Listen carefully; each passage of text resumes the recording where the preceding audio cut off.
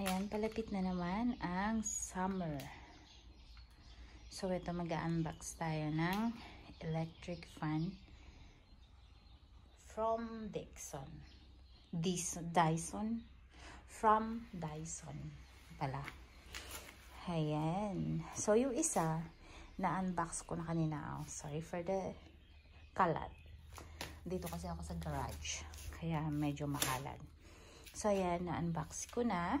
And then, ngayon, i-unbox pa ulit natin tong dalawa at syempre, i-assemble na din natin. Okay, let's go.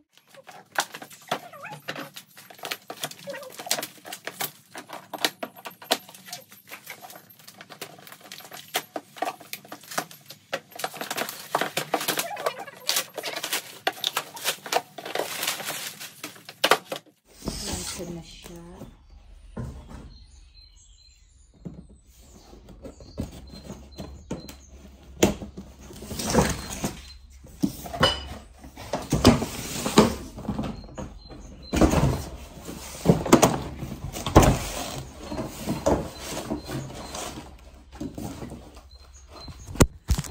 So, ayan ang loob niyan.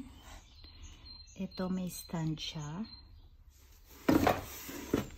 Adapter. Siyempre, may manual. Remote. Ayan, nakikita nyo. Diyan ang remote.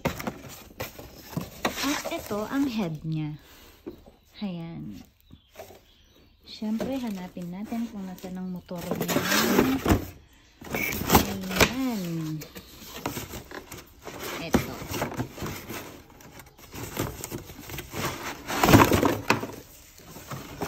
Ito ang motor ng Dyson electric fan. Assemble na natin. Let's take off this para para umikot ang ating electric fan.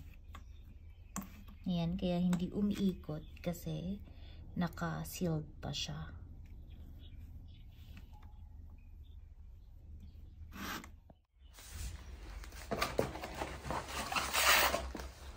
So, lagyan natin yung adapter mo doon sa gilid. Unahin natin buksan ang stand. Ito ang stand. Yan, may manual siya kung paano mo i-click yung ano niya, 1 and 2.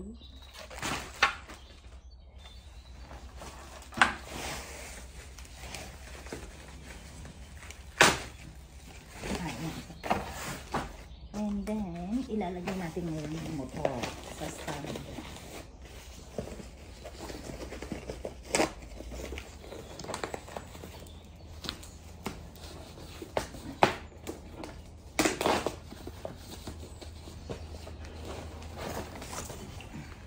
So, nakikita natin, ito, may 1 siya.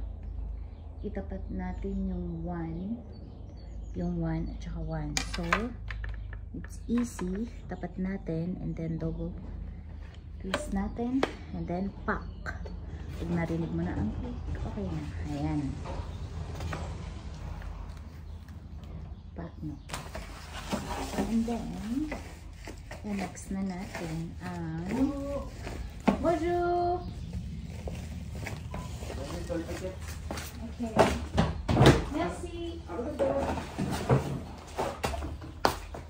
Ayan, may bago naman ng delivery na dumating. Pasensya na guys. Ayan. So, ganun din ang gagawin natin. Ito naman ang hindi ko masabing LC eh kasi pahaba siya. So, ayan, sundan natin. Nasaan? Hanapin natin ang 1 and 1. So, itapat natin ng 1 over there. And then, sundan ng arrow kung saan papunta. So, i-click natin pag ganon. Ganyan siya. So, i-click natin. Ay, wait lang. Madulas ang aking. Ayan. So, kung nakikita nyo, yung 1 kanina, andun na siya sa number 2 kasi nakalock na siya. Ayan. So, ayan. Buong buo na siya. Nakikita nyo. So, ayan na siya guys. Madali lang ang mag-assemble ng Dyson electric fan. Ayan, malapit na ang summer. Sobrang init na naman. Sorry for the background. Makalat talaga. Okay, ready to use. So, itry natin paanda rin. Press natin. Ayan. So, yan. Narinig nyo ang hangin lumalabas. Yan, number 10 siya. Sobrang lamig na. Kasi winter pa dito. So, ngayon, try natin siyang paikutin. Yun. Gumana na siya. So, i-press lang ninyo ito para gumana siya. So, stop. Stop lang natin. Nag-stop na siya. Ngayon, panda rin ulit natin. Ayan, umiikot na siya. Just press the arrow.